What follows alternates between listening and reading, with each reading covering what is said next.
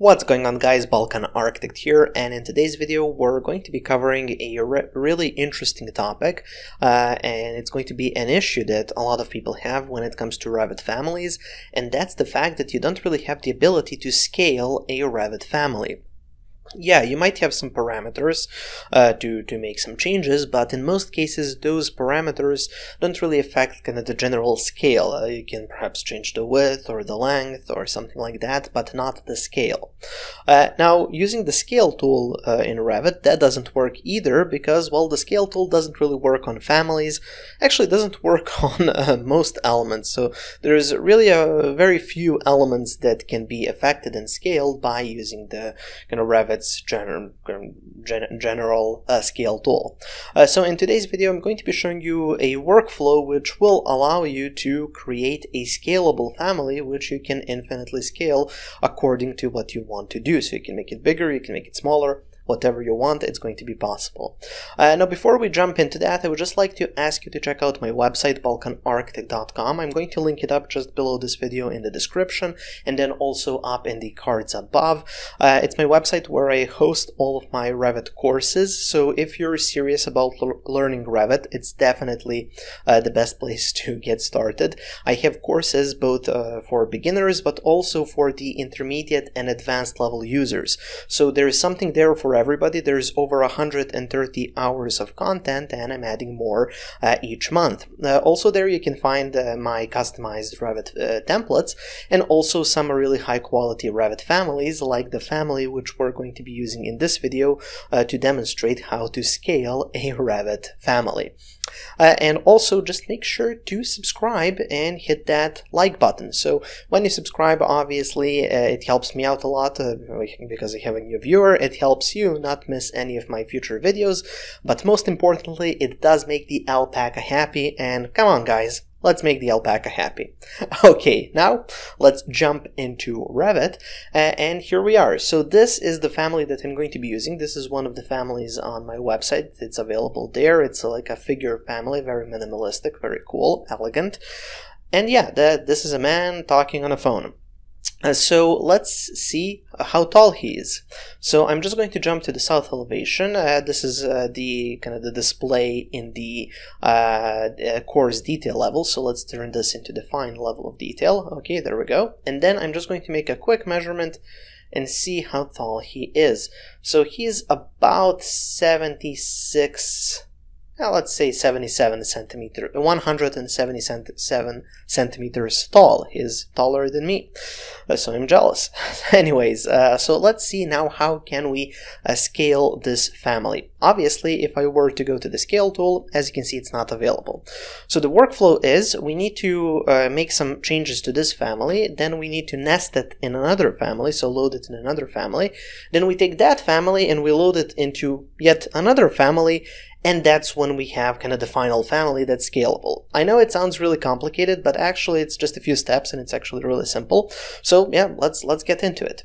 So what I'm going to do first is just select this family and then go into edit family. So once we do this, uh, we open up this family. Uh, here you can see we have that figure, and then this is just the you know the coarse level presentation. So I'm actually just going to delete that. Uh, for now, we don't need it, and then let's make this one visible uh, in all detail levels. I think it's just going to make the make it less steps. Okay, so we have this family, and with the first family, like the initial family that you want to make scalable, you have to go into the family, you have to go to the properties panel, and then here we have the family category and parameters. So you just want to open that up, and here as you can see, this has been set to entourage, because this is an entourage family, but we don't want it to be entourage. We actually want it to be a planting family. Uh, the reason for this is because planting families actually include the kind of the, the infrastructure that allows it to be scalable. Why is this with the planting families and not with the other ones? I don't know. I guess Revit thinks that only trees and plants should be scaled and everything else should not be scaled, I guess. I don't know. So anyways, uh, we did that. Uh, now with that out of the way, we go to File, we go to New, and we create a new family. So for this family, again, yes, you guessed it, we're using a planting family. So we're just creating a new planting family or planting category family. So let's open this one up. There we go.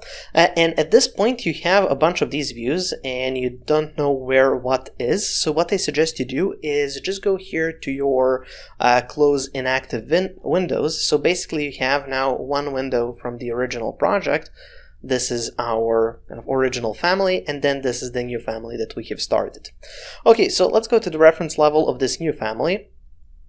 Let's then go to this one, uh, load into project, and then this is going to be family 2. Click OK.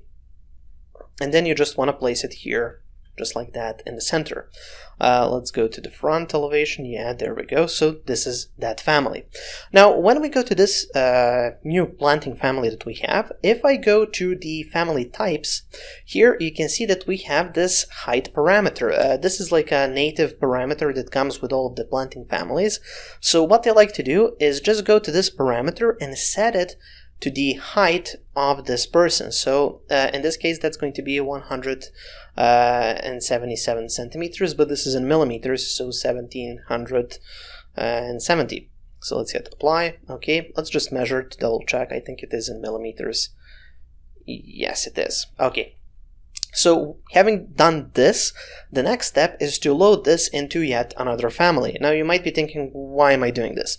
Well, the reason for that is because this family is a planting family, and as we said, we don't want this to be a planting family in the end. This, this isn't a plant, this is a person. So I want to make it an entourage family. So I have to start a new, so file, new, family, and then this is going to be a metric entourage family, and then this is going to be kind of the final family type or family category. So let's open that one up. So let's wait for a second. Okay, uh, again, we have a mess of views here. So again, I suggest you go here to close inactive windows. Go to this one. So this is the, the family two. And then you, again, you just load it in and you load it into family three. Click OK. Here we are. And then let's just place it like that. Hit the escape key a few times and let's open up the 3D view like that. Okay, so now if I select this nested family and uh, if I go to uh, family types here, you can see that we have a height parameter. So what I'm going to do is click here on associate family parameter. This is going to allow me to create a new uh, parameter. So I can call this one the figure height, for example.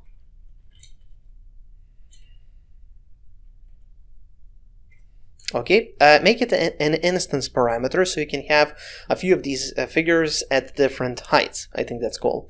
So let's then click OK, click OK again, and now uh, this parameter, if I hit apply and OK, is linked to the, oops, to the parameter here figure height parameter and this is an instance parameter and by default it's set to 177 centimeters or 1770 millimeters.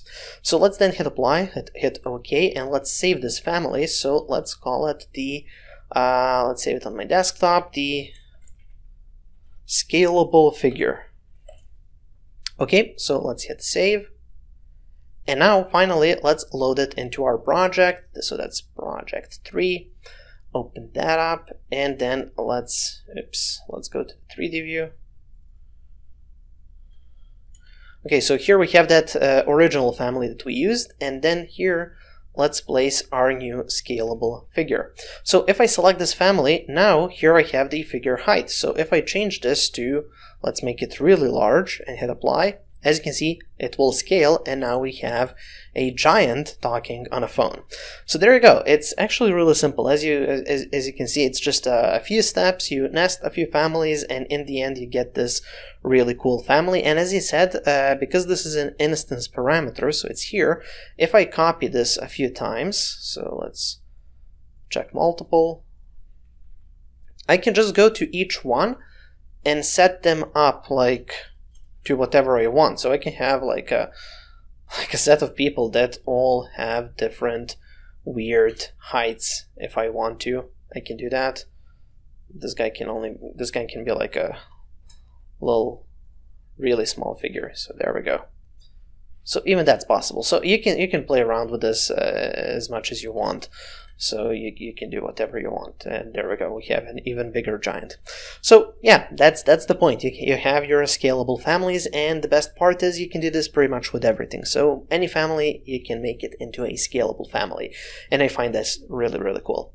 So there we go. Uh, it was very simple. I hope you have enjoyed this video. I hope you have learned something new. Uh, as i said make sure to check out my website. I'm going to leave it in the links below this video and also up in the cards above. Uh, make sure to subscribe and I'll see you with another video in a few days.